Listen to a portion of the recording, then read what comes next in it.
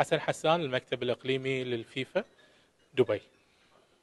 نتحدث عن ما جئتم به لهذه العمل اليوم وما هي انطباعاتك بعد الجولة التي قمت بها في اتحاد القدم العراقي؟ آه، بسم الله الرحمن الرحيم. حقيقة نحن سعداء في تواجدنا في دولة العراق في ضيافة الاتحاد العراقي لكرة القدم. آه، زيارتنا هي من أجل متابعة مشاريع التطوير والمتعلقة الخاصة ببرنامج فيفا فورورد. الخاص بالاتحاد القاري الدولي لكرة القدم. آه، متابعتنا من أجل آه، الاستمرار في التخطيط والتنفيذ للمشاريع وكذلك لمتابعة رؤى وأفكار ولقاء الإخوة المسؤولين بالاتحاد العراقي وتبادل الخبرات في مسألة الخطة الاستراتيجية الخاصة بالاتحاد في الفترة القادمة. أحد عنده سؤال ثاني شباب؟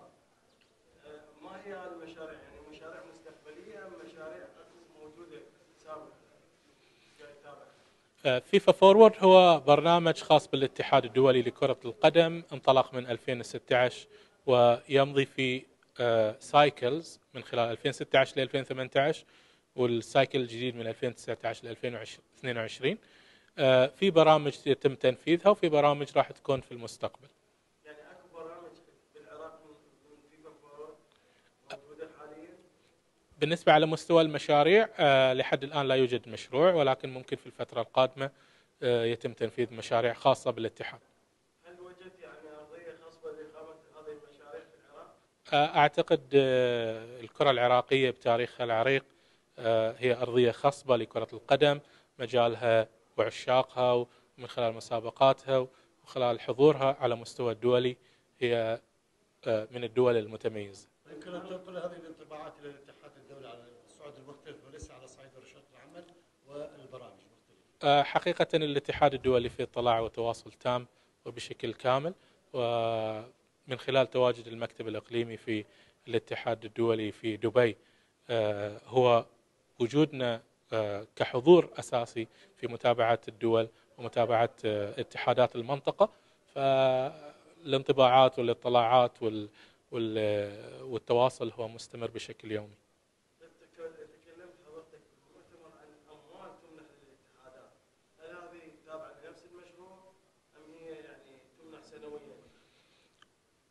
المخصصات الخاصة بالفيفا Forward Programme تقام من خلال برامج يتم تقديمها من خلال الاتحاد القاري في كل دولة البرامج لو الاتحاد يتم التوافق عليها ما بين الاتحاد الدولي والاتحاد المحلي؟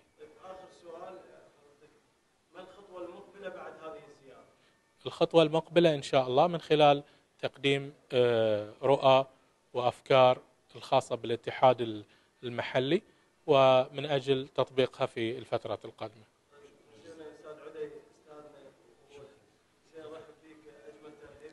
الله يسلمك. الله يسلمك. جميلة بأهلها وأنا بين أهلي وإخواني وأتمنى إن شاء الله مزيد من النجاح للكرة العراقية ومزيد من التقدم والتطور على مستوى سواء المنتخبات أو على المستوى الاتحاد المحلي من خلال لجانه المختلفة.